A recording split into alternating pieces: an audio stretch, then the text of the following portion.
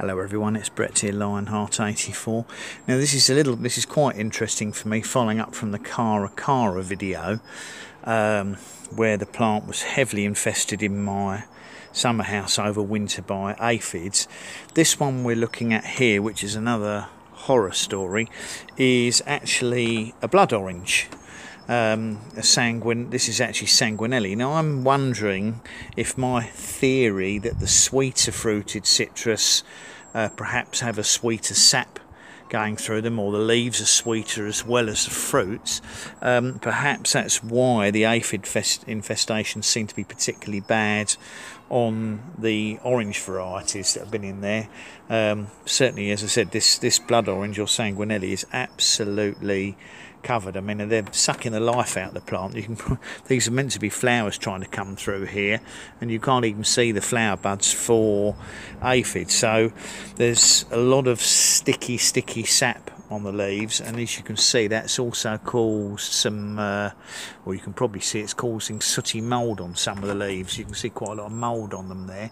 Um, but I'm fairly sure that once I've given this a good washing off with um, the soapy water that I'm using, which is dishing, uh, uh, washing up liquid, with some, uh, and I'm adding a little bit of uh, isopropanol to it, pure alcohol. I think the mixture of the two will pretty much get rid of all of the aphids, and I can pretty much wash the mildew off with my fingers and soapy water as well. If they need spraying at a later stage, repeat spraying, I will. But I think now the plants are coming outside, probably the aphids won't be so much of a problem. But um, I'm going to put the. Uh, I won't actually film myself doing this because there's so much work to do. I need both hands. But um, I just thought I'd show you just how bad the infestation is on this plant, and I might come back to it after I've given it a wash off. So I'll probably pause the video and see what the end result is like. So here we are back again. Um, I couldn't uh, I couldn't film the whole process. It's taken me about 15-20 minutes to get this devoid of virtually all the aphids and I've managed to wash out most of that powdery mildew on the leaves and sticky stuff washed off as well.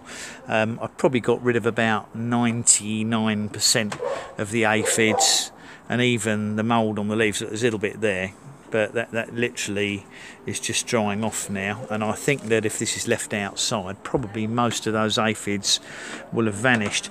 Now just a little uh, out of interest in the bottom of the pot there for anyone curious I've got two date palm uh, date seedlings. Now they've survived in the greenhouse without any issues as well. Now I think if I remember rightly, um, a year or so back we had some medjool dates I bought just after Christmas, and rather than plant them. Uh, specifically, I just thought it'd be fun to uh, poke them in a pot, which sometimes works better for seedlings and trying to germinate them on their own. And sure enough, uh, the two date seeds that I poked in this pot came up about three or four months later. So I've now got a couple of uh, date seedlings. So I'm not going to disturb them. What I'll do is leave them in here and then when, when eventually the plant is due for repotting which might well be uh, I might repot it this summer I'll carefully tease out the date seedlings at that time and put them in their own pots. So um, and despite the smothering of uh, despite the smothering of aphids, there are actually a couple of flower buds starting to appear on it, and it's even got a couple of um, flowers that seem to have set oranges incredibly. I mean, I would have expected these to uh, come off with all the aphids, but perhaps not. Um, still, I think in the next month or so it'll start growing very well, and I'm hoping to be able to leave it outside for the rest of the summer, and we won't get any more cold spells. So uh, again, thanks for watching. That's my um, Sanguinello Blood Orange. Much appreciate it. Uh, please give me a thumbs up, subscribe to my channel. You can share the video if you want. Excuse the uh, people next door screaming at their dog if you can hear them and remember to click on the bell if you'd like to get updates on new videos as they come out which will of course include this blood orange. I'll catch up with you on the next video. Brett out for now